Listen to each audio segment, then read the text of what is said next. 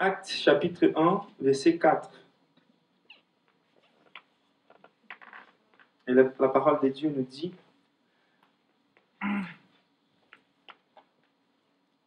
Jésus avec ses disciples, après déjà sa résurrection, comme il se trouvait avec eux, il leur recommanda de ne pas s'éloigner de Jérusalem, mais d'attendre ce que le Père avait promis, ce que, vous, ce que je vous ai annoncé, leur dit-il. Car Jean car Jean a baptisé d'eau, mais vous, dans peu de jours, vous serez baptisés du Saint-Esprit. Alors les apôtres réunis lui demandèrent, Seigneur, est-ce est qu'en ces temps que tu rétabliras les royaumes d'Israël? Il leur répondit, Ce n'est pas à vous de connaître les temps ou les moments que le Père a fixés de sa propre autorité. Euh, mais vous recevrez une puissance, euh, le Saint-Esprit survenant sur vous, et vous serez mes témoins à Jérusalem, dans toute la Judée, dans la Samarie et jusqu'aux extrémités de la terre. Après avoir dit cela, il fut élevé pendant qu'ils regardaient, et une nuée les déroba à leurs yeux. Et comme ils avaient euh, les regards fixés vers les cieux pendant qu'ils s'en allaient, voici deux hommes vêtus de blanc euh, leur apparurent. Et, euh, dirent, Homme Galilée, pourquoi vous, vous arrêtez-vous à regarder au ciel? C'est Jésus qui a été enlevé au ciel du milieu de vous viendra de la même manière que vous, vous l'avez vu ailleurs au ciel. Amen. On prie. Seigneur, nous te remercions, Seigneur, pour, euh, pour cette euh, période où on médite, sur les plus grands cadeaux qu'on a reçus euh, dans nos vies, dans l'histoire de l'univers. Merci beaucoup, Seigneur, pour la naissance de Jésus. Merci beaucoup pour sa mission. Que tu nous donnes, Seigneur, les privilèges, la capacité, Seigneur, par ta grâce, par ton Saint-Esprit, de comprendre et, d'être rempli, Seigneur, avec la conscience du privilège de connaître ta vérité, de connaître la bonne nouvelle. Qu'au nom de Jésus, on puisse vraiment, dans cette période, profiter bien et méditer profondément, Seigneur, dans tous les sens euh, qui les Noël représentent pour nos vies. Que tu puisses changer nos vies, approfondir notre relation avec toi et que tu puisses nous donner aussi la capacité de partager cette bonne nouvelle au nom de Jésus, Seigneur. Amen. Bon, on est encore sur les thèmes des missions. Euh, on est à, la fin d'une série euh, qui a commencé, euh, ça fait un long temps déjà, une grande série. On a passé par plusieurs thèmes en essayant de voir une notion un peu équilibrée des, des, les points des vieux bibliques sur la vie chrétienne dans plusieurs sens. Donc, les centres, en fait, c'était la joie, en fait. La joie qu'on trouve dans la vie chrétienne, dans plusieurs aires qu'on trouve dans la vie chrétienne aussi. Et donc, on arrive à la fin, après avoir médité dans plusieurs euh, thèmes très intéressants. Euh, et, là, en fait, euh, c'est bien de méditer, par exemple, cette phrase qu'on a prise à vos marques, prêts, partez. On sait bien qu'on veut savoir partager, partager on ne se sent jamais vraiment prêt pour les faire, pour faire cette mission. Mais d'un côté, on est déjà prêt. Car Dieu, en fait, il n'attend pas que nous sommes parfaits à faire ce type de choses. Il sera toujours à nos côtés pour qu'on puisse arriver à faire ces choses-là. Donc, c'est les moments de partir pour plusieurs d'entre nous, euh, surtout quand on est en train de méditer dans plusieurs euh, euh, préparations comme on avait fait jusqu'à là. Donc, on, arrive à la fin de cette série et c'est très intéressant de voir comment Dieu nous a beaucoup investi dans plusieurs sens, nous a beaucoup préparé.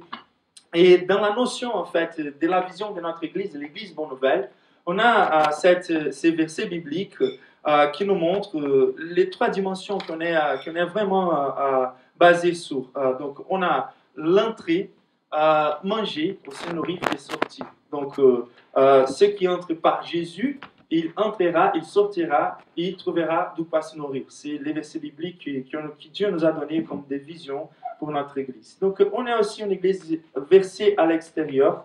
Et c'est très intéressant de voir comment on est vraiment dans cette notion de bien se préparer avant de sortir et de sortir aussi pour manger. vous savez bien partager sur ça, c'est très intéressant. Euh, je n'étais pas là, mais j'ai regardé euh, sur Internet sa prédication. Donc, ce texte-là, il est un texte très intéressant euh, et très touchant. depuis ma conversion, c'est un des textes qui, m'a beaucoup parlé par rapport à la situation, les circonstances que les disciples ont, ont vécues à ce moment-là. C'est très intéressant de voir comment les dernières paroles de Jésus, elles sont fortes et elles représentent beaucoup. Donc Gustavo, euh, il a partagé le fait que les dernières par- paroles de quelqu'un, elles montrent beaucoup combien importantes ces paroles sont. Donc quand on regarde des, vidéos, des films, euh, par exemple, quand il y a quelqu'un prêt à mourir, il dit sa dernière phrase et on sait bien c'est quoi qu'il y a dans son cœur. Ah, c'est quoi la chose la plus importante? Et donc Jésus, il est presque à, à- monter au ciel. Ah, c'est vraiment le moment de séparation le plus fort entre Jésus et ses disciples. Et là, il dit ces dernières paroles. Donc euh, ça montre l'importance. Mais ça montre aussi, pas que l'importance, mais l'accomplissement d'une mission. D'une mission que Jésus était en train de faire avec ses disciples. Donc, euh, pareil euh, que Socrate, Jésus, il est ce leader euh, qui, qui n'a pas écrit de lui-même sur lui-même. Ça, c'est très intéressant. Il y avait un, un groupe de disciples qui allaient vraiment amener sa parole euh, quand il partira-. Et donc là, on voit Jésus qui avait accompli sa mission avec ses disciples. Ils étaient prêts dans un, dans un côté. Même s'ils n'étaient pas parfaits, ils étaient prêts à, continuer cette œuvre que Jésus a fait, cette mission que Jésus a fait. Et en méditant dans cette notion de Noël, c'est quoi vraiment les plus grands cadeaux qu'on peut euh, considérer dans nos vies? C'est vraiment euh, la naissance, c'est le Noël. C'est la naissance de Jésus. Et la naissance de Jésus, c'est pas vraiment qui est la naissance qui nous apporte euh, vraiment ces cadeaux, c'est la mission de Jésus. Pourquoi il est venu, pourquoi il est né, euh, et c'est quoi qui s'est compris dans cette notion? C'est la mission entière de Jésus, sa vie, sa mort, sa résurrection, euh, son ascension, et à la fin, la communication de cette bonne nouvelle, la communication de cette mission que Jésus est venu faire. Donc là, on trouve les disciples dans un moment très délicat de leur vie. Je pense que c'est les moments où les désespoirs euh, arrivent avec plus de force dans leur cœur. Ça, c'est très intéressant de méditer. Imaginez-vous, mettons-nous à la place des disciples à ce moment. Donc, euh, plusieurs fois, la Bible nous montre combien ils étaient attachés à Jésus, à son autorité, combien confortable était d'être dans la présence du Christ. Donc, rappelez-vous, quand il avait un problème des, besoins physiques, Jésus, il était là. Donc, euh, si c'était la manque de quelque chose à manger, Jésus euh, multipliera les pains et les poissons. Si c'était une tempête, euh, eu un, danger naturel, il était là pour calmer. Quand le désespoir venait, Jésus il avait des paroles que les disciples ont dit où nous allons si c'est que toi qui as les paroles de vie éternelle. Donc, il parlait avec autorité, il avait la capacité de conforter, il avait l'assurance, euh, il donnait l'assurance de n'importe euh, quoi qui puisse nous manquer, je serai là pour euh, remplir les besoins. Et donc, pour les disciples, c'était d'un côté très merveilleux, mais d'un côté aussi très confortable de marcher tous les jours devant la présence de Jésus. Il n'y a aucune, aucun privilège qu'on puisse imaginer dans la vie qui soit plus grand que les privilèges qui marchaient avec la compagnie de Jésus. Et là, c'est un moment de dire au revoir, c'est un moment de séparation. Imaginez-vous pour les disciples qui sont en train de recevoir en tâche beaucoup au-delà de leur capacité, en même temps en sachant que Jésus, ne sera plus là en personne. Ça, c'est très intéressant. Donc, euh, il va partir, il va nous laisser, et en plus, il nous a donné une tâche impossible d'accomplir. Je me rappelle d'un, film, euh, euh, euh, en anglais c'est Jesus, excusez-moi, Ocean's Eleven. Donc, c'est, en portugais, on dit les onze hommes et un secret. Je ne sais pas comment en français c'est la traduction. Ah, c'est comment? Ocean's Eleven, ok. Donc, euh, ces films-là, c'est très intéressant. Donc, ce sont 11 hommes avec beaucoup de vertus qui sont, sont mis ensemble pour faire une grande mission. Et quand je vois les, Jés- les Jésus élèves, ils ne sont pas si préparés que ces hommes-là. Et la tâche est beaucoup compliquée, beaucoup plus compliquée. On voit en fait euh, les hommes de Dieu, les onze euh, des pécheurs, euh, des personnes simples, qui sont là, mises pour partager l'évangile par tout le monde, euh, de prêcher l'évangile à toutes les créatures sans Google, sans, l'Internet. C'était assez difficile. Et l'Église, elle a commencé là-bas. Donc, euh, c'était une tâche, beaucoup au-delà de ce qu'il pouvait accomplir. Euh, il serait séparé de la personne la plus aimée, la personne la plus, euh, qui, qui amenait plus d'assurance. Et pour moi, il se trouve dans, dans un grand désespoir. Donc, parfois dans nos vies, on passe par des pertes, on passe par des situations où on se sent un peu sans référence, un peu sans but, un peu sans force. Et ça ne devrait pas être la caractéristique du chrétien. La marque la plus forte du chrétien, euh, ça devrait être le courage, ça devrait être les plaisirs, la joie tout le temps. Mais euh, c'est pas évident et, plusieurs fois on trouve nos vies et les chrétiens en général, on les trouve un peu euh, dans le désespoir.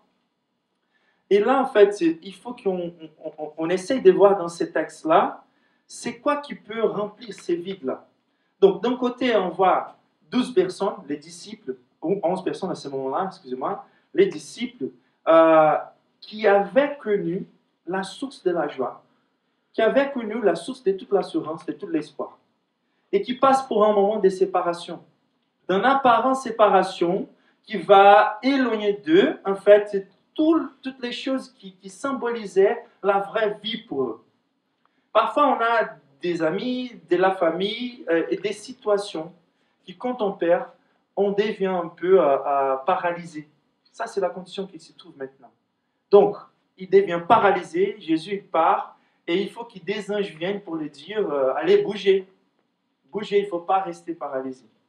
Donc, au, Brésil, on a un mot qui s'appelle saudade, qui c'est un type de nostalgie, de mélancolie qui est attaché à la manque que quelqu'un euh, produit dans nos cœurs. C'est qui en portugais qu'on a ces mots-là, mais c'est un mot assez fort.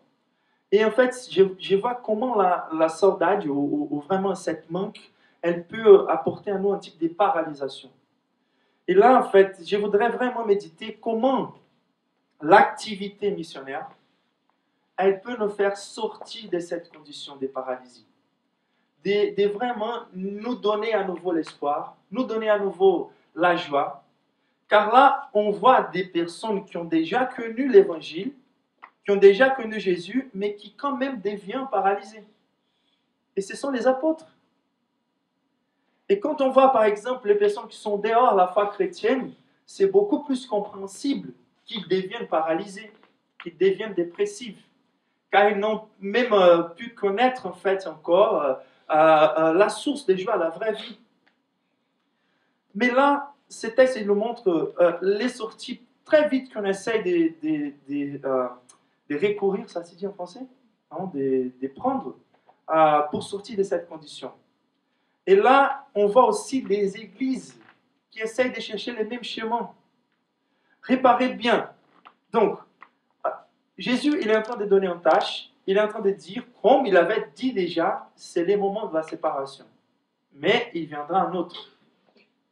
Et dans ces moments de séparation, les disciples, ils rentrent dans les désespoirs. Notez bien quelles sont les sorties les plus vite qu'ils essayent de prendre. La première, euh, c'est de, de revenir en vie misérable, très attaché à ce qui est terrestre. La première préoccupation des disciples quand ils voient que Jésus va partir, c'est de demander à Jésus par rapport à la restauration du royaume d'Israël. Ça, c'est très intéressant. Le verset 6, euh, quand Jésus dit euh, qu'il va partir, euh, le verset 6, les apôtres reviennent à Jésus et disent Alors, les apôtres réunis lui demandèrent Seigneur, est-ce en- est-ce que c'est en ces temps que tu rétabliras les royaumes d'Israël? Donc, après, trois ans vivant très proche de Christ, les Christ qui prêchait les royaumes des dieux, les royaumes spirituels, qui montraient que la vérité, les grands espoirs, euh, la plus grande bénédiction, elle se rendra dans la gloire, dans la vie future, et qu'il devrait valoriser chaque fois plus la mission des dieux, euh, chaque fois plus, euh, en fait, la promotion d'un royaume céleste. Ils ont vu combien Dieu honore ceux qui sont en train de vivre une vie consacrée à partager et valoriser les vertus spirituelles. Ils ont vu tout ça. Mais là, quand Jésus dit euh, qu'il va partir, euh, il revient et il demande à nouveau la question du royaume d'Israël.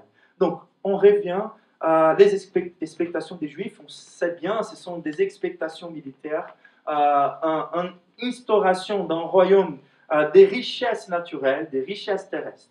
Quand on regarde les églises d'aujourd'hui, plusieurs fois, quand euh, on sent un petit peu qui, qui Dieu s'est éloigné, ou que Jésus est un peu éloigné de nous, on voit beaucoup des églises sont en train de revenir à des préoccupations naturelles. Des préoccupations, euh, des, des- des conditions de vie, d'amélioration des vies ici-bas. Ils sont en train de chercher comme symbole des bénédictions de Dieu, symbole des proximités avec Dieu, que des bénédictions terrestres. Je ne vais pas gaspiller beaucoup de temps là-dedans, mais il faut juste voir comment on a cette tendance très vite de sortir des dimensions spirituelles qui sont beaucoup plus attachées à, la vraie nature de Jésus pour revenir à, des choses de ce monde-là. D'autre côté, une deuxième sortie, ça pourrait être en fait de devenir plongé pendant beaucoup de temps euh, dans les expériences spirituelles. Aujourd'hui, on voit pas mal de personnes sont en train de chercher des expériences subjectives et spirituelles, comment sortir par, euh, pour, pour, pour essayer de, remplir ces vides-là qu'on a d'une vie de pertinence, d'une vie euh, d'approche de Jésus. Donc, plusieurs personnes sont plongées dans la recherche des bénédictions, du baptême du Saint-Esprit ou des expériences spirituelles. Et ce n'est pas un problème du tout. Ça, c'est bien. Mais il ne faut pas s'arrêter là. Les apôtres, ils n'étaient pas en train de chercher les anges. Mais comme ils étaient paralysés, Dieu les envoie deux anges. Et ces deux anges, c'est quoi qu'ils font? Ils les poussent à nouveau à aller dans l'activité missionnaire. Allez bouger, verset 11. Homme Galilée, pourquoi vous arrêtez-vous à regarder au ciel? C'est Jésus qui a été enlevé au ciel, de milieu de vue, viendra de la même manière que vous l'avez euh, vu ayant au ciel. Donc, regardez ça. Plusieurs fois, on essaye de remplir cette vie, cette vie de Jésus à notre manière, avec le peu qu'on connaît euh, par rapport euh, aux expériences qu'on a déjà eues avec Dieu. Donc, c'est pas mal en soi-même. Mais on oublie d'écouter ce que Dieu dit. Donc, si on se rappelle qu'on a eu un bon moment spirituel dans la présence de Dieu, on va rester en train de chercher. Et la frustration va venir. Car le but de, telles expériences, elle est déjà euh, accompli. Peut-être Dieu nous va donner à nouveau, mais ce n'est pas euh, la vie de Dieu ou, les schémas que Dieu nous donne, ce n'est pas vraiment de rester là, arrêter en train de chercher ce type de choses-là.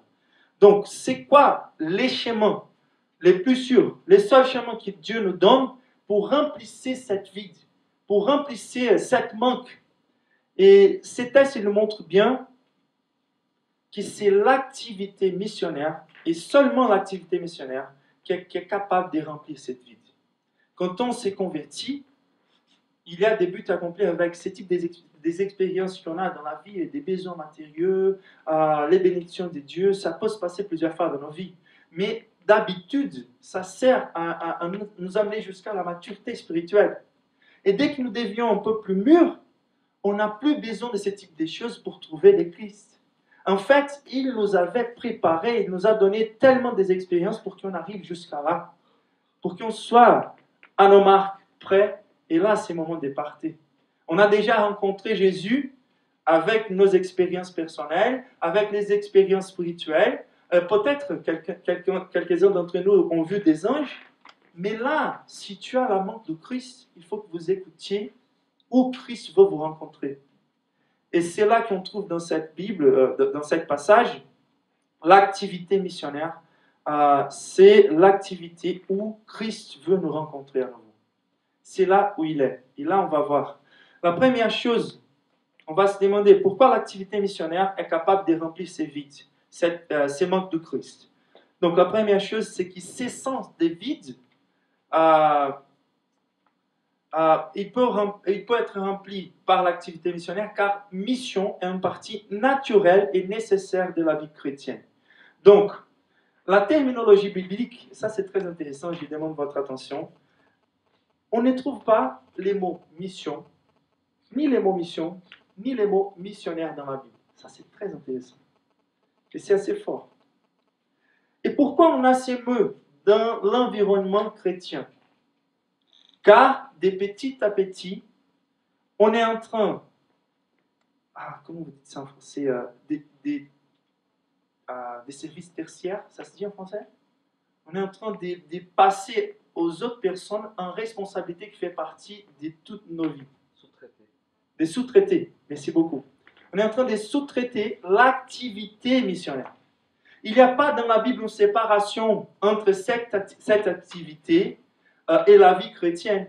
Mais on est en train de créer une notion, un concept extra-biblique pour que les autres personnes fassent ce qu'on n'est pas en train de faire.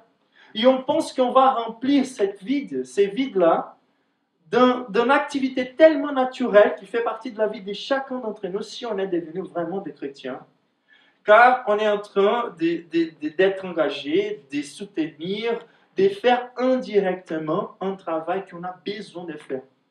C'est comme la manque de nourriture, la Bible nous présente. Une nourriture, j'ai à manger que vous ne connaissez pas. C'est Jésus qui dit à ses disciples. Et c'est quoi cette nourriture?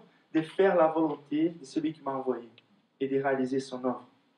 Donc c'est très intéressant comme aujourd'hui les églises sont en train de, sous-traiter les activités qui font partie de la vie naturelle de chacun d'entre nous. Donc, euh, par exemple, il y a plusieurs autres termes qu'on utilise, les planteurs des églises, des implantateurs des églises, c'est pas comment dire. C'est à nouveau, il y a des conférences par rapport aux, missions, aux missionnaires, il y a des conférences par rapport aux implantateurs d'églises, mais ce sont des activités naturelles de la vie de chacun d'entre nous, autant que chrétiens. Donc, selon la Bible, les buts de chacun d'entre nous, c'est vraiment à, de devenir euh, personnes engagées avec l'activité missionnaire. Donc, juste pour euh, montrer quelques textes, Matthieu chapitre 5, on a l'illustration euh, de l'Église. Donc, verset 13, il nous dit, vous êtes les sels de la terre, mais si sels perdent, perdent sa saveur, avec quoi la lui rendra-t-on? Il ne sert plus qu'à être jeté dehors et foulé aux pieds par les hommes. Vous êtes la lumière du monde. Une, ville située sur une montagne ne peut être cachée. Et on n'allume pas une lampe pour la mettre sous les boisseaux, mais on la met sur les chandeliers euh, et, elle éclaire tous ceux qui sont dans la maison.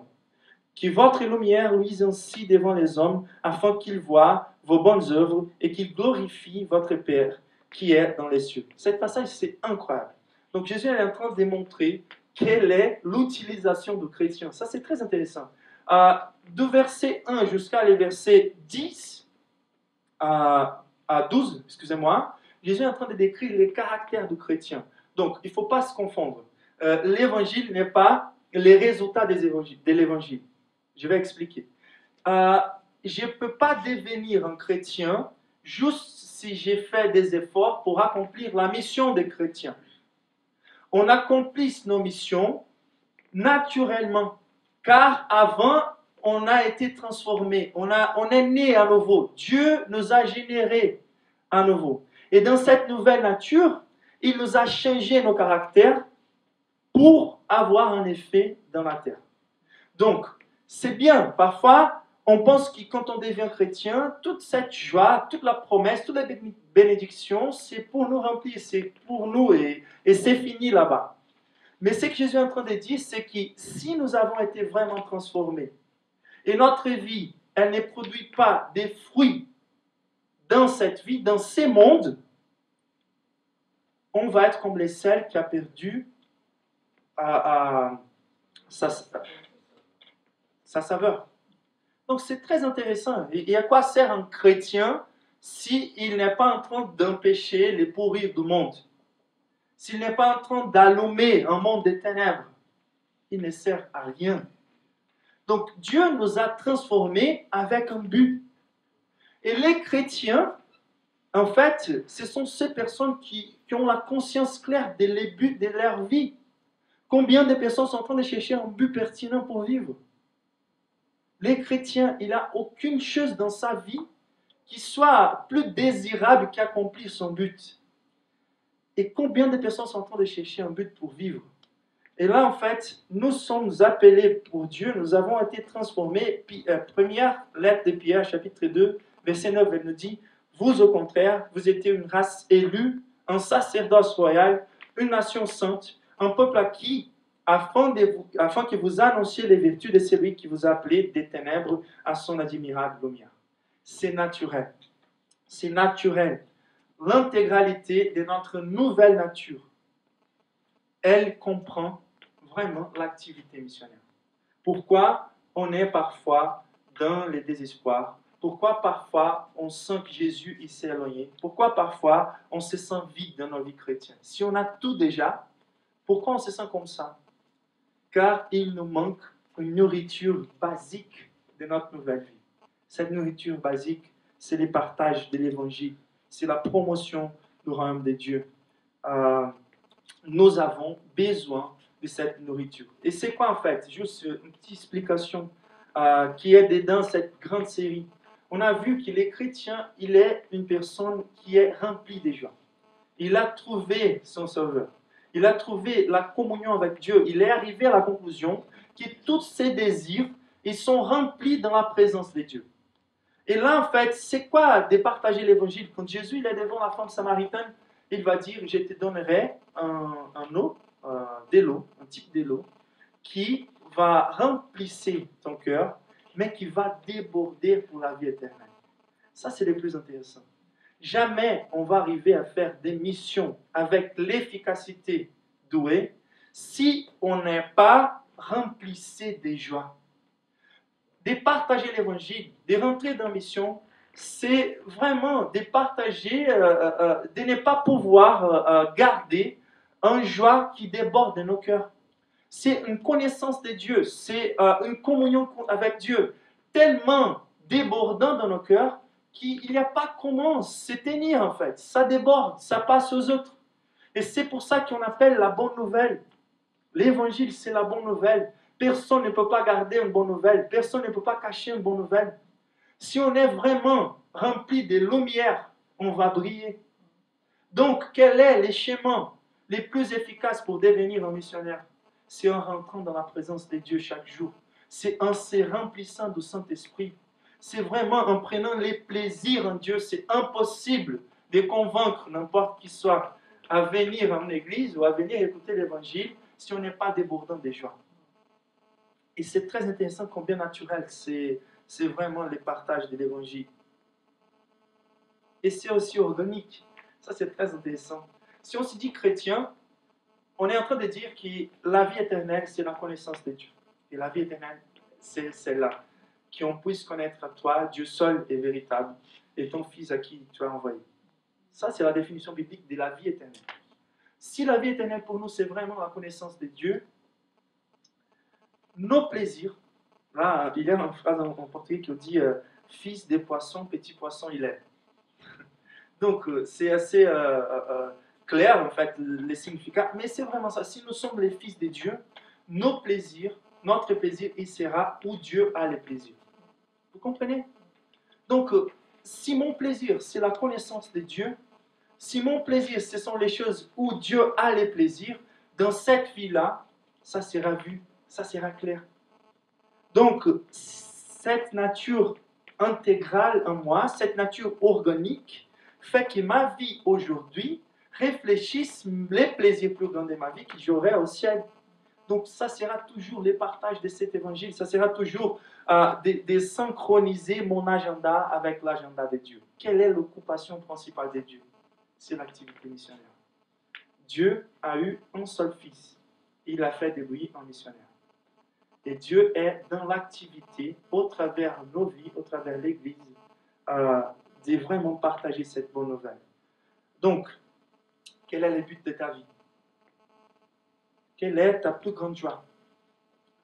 C'est quoi, c'est quoi que tu, tu, veux convaincre les personnes à suivre?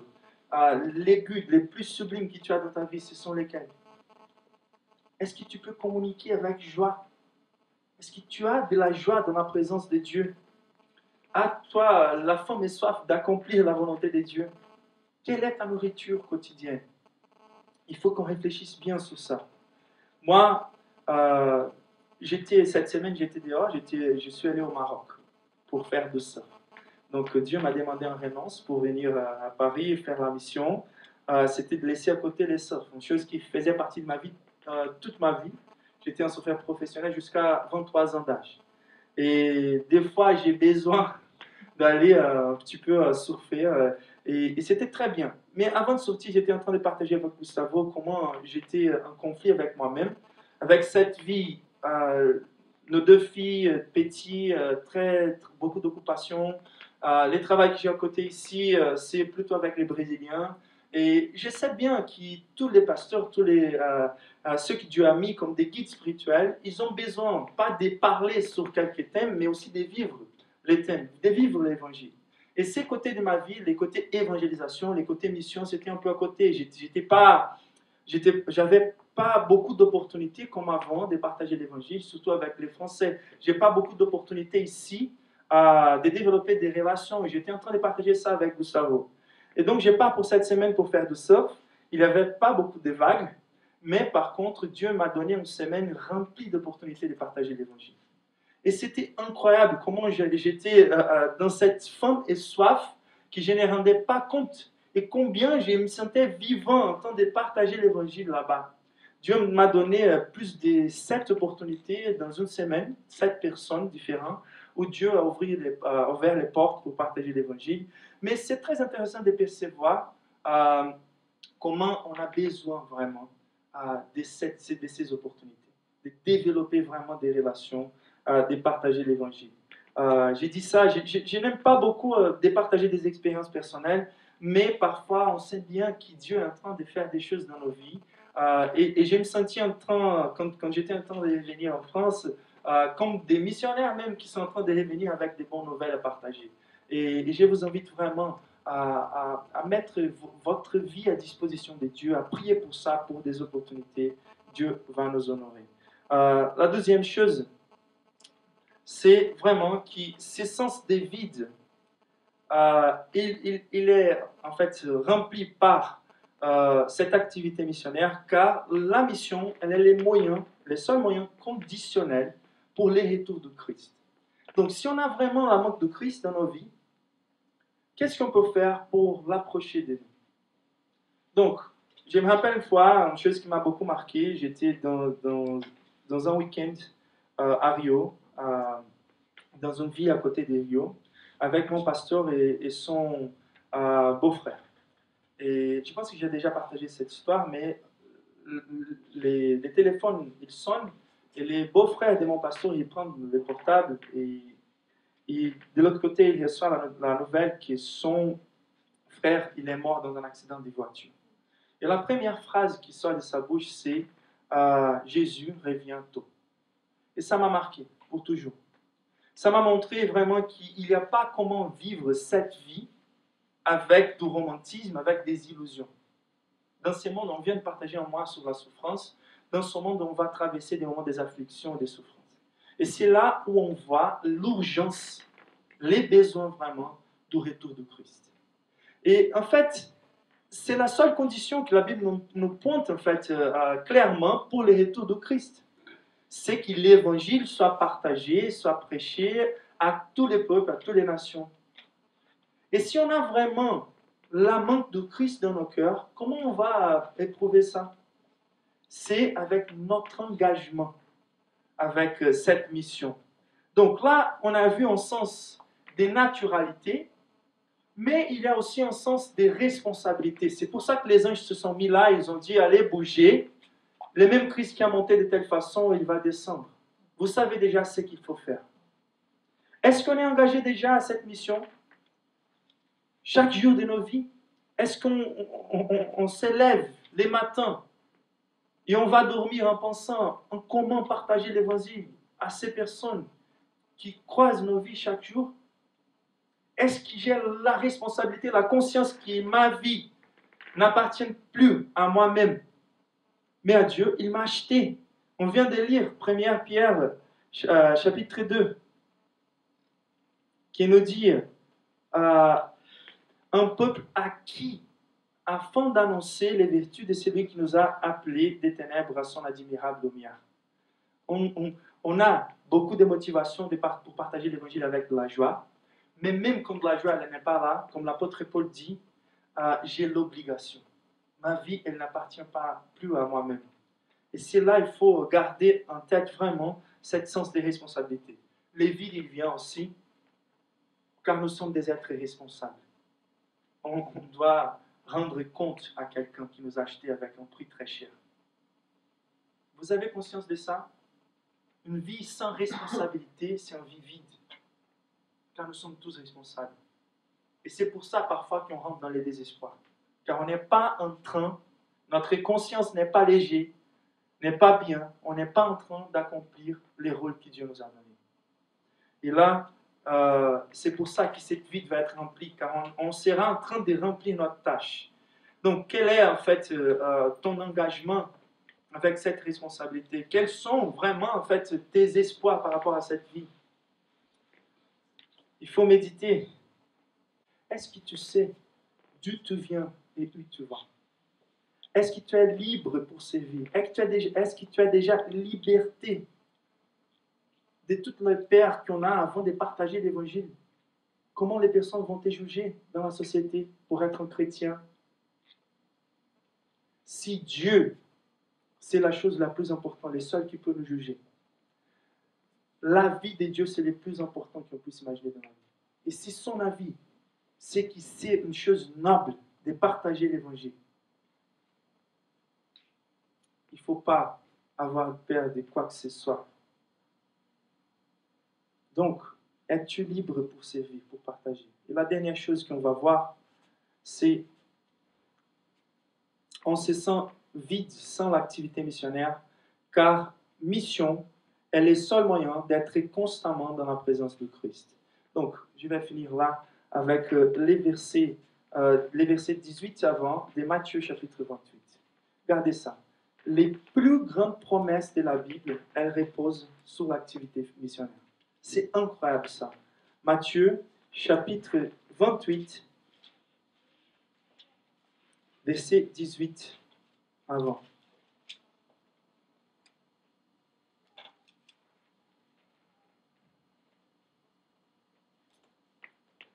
Ce sont les dernières paroles de Jésus enregistrées dans l'évangile de Matthieu. Jésus s'étant approché, leur parla ainsi. Tout pouvoir m'a été donné dans les ciels et sur la terre. Allez, faites de toutes les nations des disciples, les baptisant au nom du Père, du Fils et du Saint-Esprit, et enseignez-leur à, observer tout ce que je vous ai prescrit. Et voici, je suis avec vous tous les jours jusqu'à la fin du monde. Donc, les versets, euh, la fin du verset 20 nous dit, et voici, je suis avec vous tous les jours jusqu'à la fin du monde. Et le verset euh, 12 18 nous dit, tout pouvoir m'a été donné dans les ciels et sur la terre. Pourquoi on n'est pas en train d'écouter tous les pouvoirs de Jésus? Pourquoi on n'est pas en train de voir des miracles tous les temps? Pourquoi on n'est pas en train de voir la puissance de Dieu agir? Combien de temps es-tu en train de chercher? Mais pourquoi tu es en train de chercher? Combien de temps on veut sentir la présence constante de Jésus à nos côtés? Cette compagnie constante. Pourquoi on a cette manque? Pourquoi on est en train de chercher des autres choses si on sait déjà que Jésus c'est la réponse? Et pourquoi on n'est pas en train d'écouter Ces deux, ce sont les plus grandes promesses qu'on trouve dans la Bible. La manifestation de la puissance de Dieu, des miracles de Dieu, et la compagnie constante de Christ. Es-tu en train d'écouter ça? Pourquoi on n'est pas en train d'écouter ça? Et la réponse, est claire. Ces promesses, elles reposent sur l'activité missionnaire. Rappelle-toi des moments où tu es en train de partager. Ça fait longtemps que tu ne sens pas la présence de Christ. Mais quand, quand on est en train de partager l'évangile, on sent quelque chose. On sent que Dieu est en train de parler avec nos langues. Que Jésus est en train d'être formé dans la vie de quelqu'un. On sent quand Dieu nous utilise. Et même si on n'est pas en train de sentir quelque chose, on voit les résultats de la puissance, de l'autorité de Jésus quand il est en train d'ouvrir les portes. Quand les personnes sont en train de rendre leur vie à Christ. C'est vrai ou ce n'est pas vrai? Quand est-ce qu'on voit Jésus? Où il est? Où est-ce qu'on peut trouver Jésus à ces moments-là L'activité prioritaire de Christ à ces moments, c'est dans les lignes des, euh, l'avant-garde des activités missionnaires. Et si on n'est pas là, on va perdre les dynamismes de la vie chrétienne. Écoutez les privilèges. Quelqu'un a déjà partagé comme ça. On n'est pas capable de faire. Dieu est en train de faire. Et il nous donne les privilèges de comme des enfants, avec toute sa protection, avec sa puissance. Dans un côté, il presque fait sembler que sont nous qui sommes en train de faire, mais il est juste en train de nous inviter à travailler avec lui dans les choses les plus nobles qu'on peut imaginer. Il ne va jamais manquer ce qui est nécessaire pour faire la mission, pour glorifier son nom. Donc, la conclusion, c'est pour remplir ces vides, pour découvrir notre nouvelle nature, la puissance inconnue qui est dans cette nouvelle nature, pour accomplir notre but, pour être toujours dans la compagnie de Christ, pour avoir de la joie, nous avons besoin de reprendre à fond l'activité missionnaire. Car la manque d'activité missionnaire, elle produit des églises avec un agenda qui ne se finit jamais. 4-5 réunions par semaine. Les pasteurs n'ont pas de temps pour être avec quelqu'un car il doit être dans tous les caprices toutes euh, les activités, les jours d'anniversaire, les réunions dans la vie de toutes les personnes. Comme il est pas, comme l'Église n'est pas en train d'être engagée avec cette nourriture, on a toujours la sensation qu'il nous manque quelque chose. On veut plus d'entraînement, de divertissement. On veut plus, euh, euh, on voit plus des personnes hypersensibles. Vous voyez ça? On veut plus d'attention. On est plus sensible. On est toujours dans la dépression. Qu'est-ce qui nous manque? La communion qu'on crée dans la vie chrétienne, c'est la communion comme dans les périodes des époques de guerre. La priorité, elle est là et on va être ensemble en train euh, de lutter pour que ces buts soient accomplis. Et c'est là où on va créer des vrais liens, sans beaucoup de caprices, sans beaucoup de sensibilité, car on a la notion de l'urgence de cette tâche. La manque d'activité missionnaire dans une église locale, elle va causer de, la euh, destruction des vies des familles qui sont dans les champs. C'est à nous de prendre soin des personnes qui sont dans les champs missionnaires. Et si on est toujours envers juste nos propres ventres, on n'est pas en train de voir ceux qui sont dehors en train de faire cette tâche. Et rappelez-vous, Dieu, il a vécu un fils, il a fait des loyers missionnaires une église active en mission, elle est une église euh, dans la santé. Euh, on va prier à ce moment-là pour que Dieu fasse l'église bonne nouvelle une église missionnaire et pour qu'on puisse demander à Dieu de nous donner des opportunités.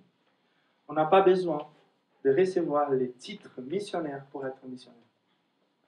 On n'a pas besoin d'aller loin pour être missionnaire. Ça commence en Jérusalem. Vous avez vu? Ça commence ici surtout quand on considère les faits qu'en France, on a un des plus grands besoins des partages de l'évangile dans le monde. Il faut qu'on soit toujours à la disposition de Dieu. Toujours, toujours, avec les personnes qui sont à nos côtés. Si tu as la manque de Christ, c'est le moment de partager. Amen.